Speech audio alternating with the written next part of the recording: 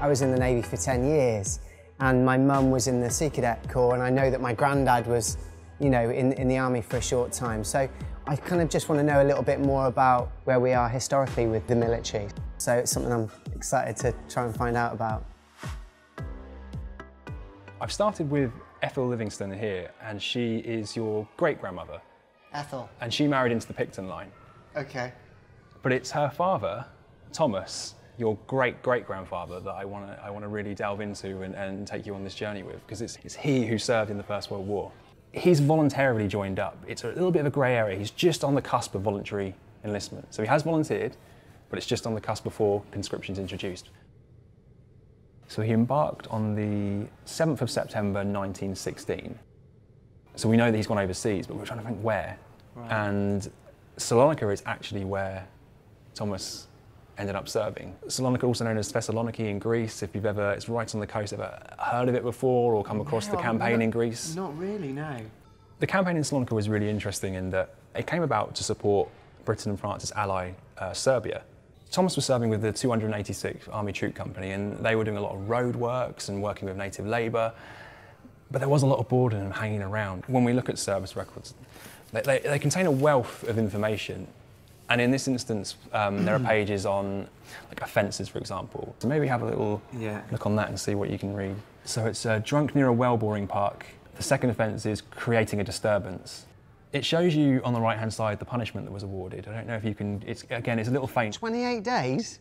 And that's 28 days field punishment number one. Um, he would be shackled um, by the hands and tied to a fixed object, such as like a, uh, a gun carriage. Goodness me. That would be kept up for two hours at a time, no more than two hours. And it couldn't be for more than three days out of four.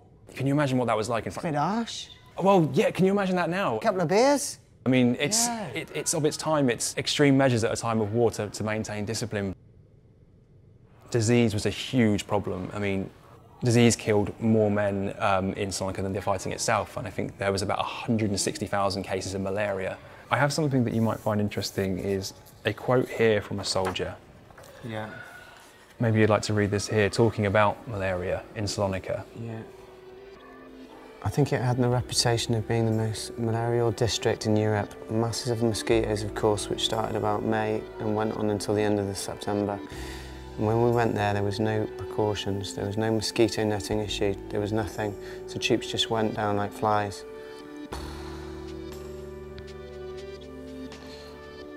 Wow.